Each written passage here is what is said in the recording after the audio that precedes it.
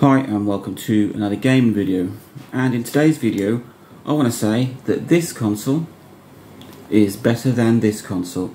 So this is a DSi XL, actually this is a DSi LL but uh, it's just a Japanese XL and this is a Nintendo 3DS and I would go as far as saying that this console is better than this one. So I'm going to explain my reason because this is a DSi, so it's before the 3DS. And for a very long time, I skipped over the DSi platform. I went straight from a DS Lite to a 3DS because I didn't really think that the DSi offered much. Oh, how wrong was I? So now I love the DSi and the DSi XL.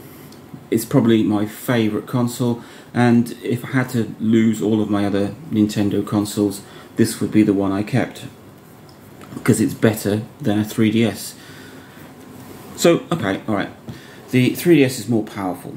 It can play 3DS games.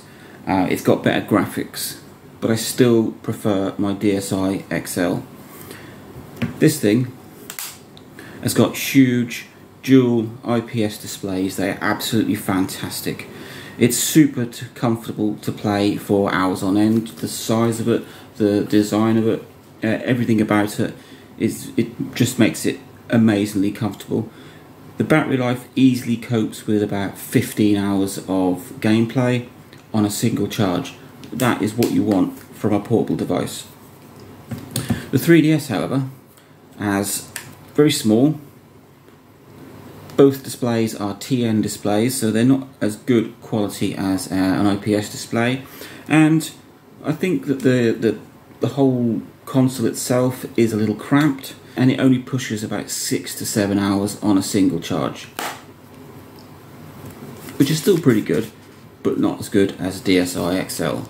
So a 3DS XL would give you bigger screens and a slightly better battery life but it wouldn't give you as good screens as you get on a DSi XL because I'm pretty sure the 3DS XL still has TN displays and it still doesn't give you the battery life that you would get from a DSi XL. The build quality of this thing is absolutely amazing. It is so rugged and so durable that you know it's going to be safe taking it out and about with you. It is a true portable console in true Nintendo style. But obviously it depends on what sort of games you want to play because if you're interested in playing 3DS games, then this isn't going to cut it for you. If, like me, you play more DS games or Game Boy, Game Boy Color, Game Boy Advance, if you've modded your DSi, you can play those on it, then the screen is amazing and it's one of the best handheld consoles ever.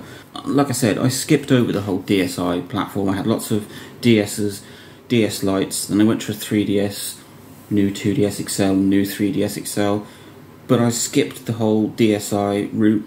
Uh, I was looking for a present for my wife once, and she liked the idea of playing DS games on a bigger screen, so I picked up a DSi XL and was instantly enthralled by it.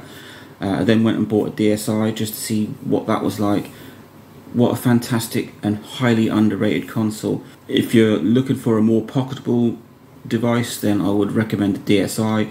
Um, but if you're looking for the full gaming experience, the DSi XL is just amazing. And if you're not interested in 3DS games and you're just looking for a super comfortable, rugged, portable console for playing DS games, then the DSi XL is fantastic. So DSi XL is better than a 3DS, and in some ways, a DSi XL is better than a 3DS XL.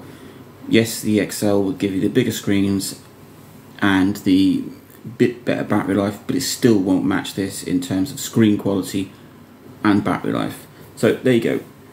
The DSi XL is better than a 3DS. Let me know what you think. Link, like, subscribe, enjoy.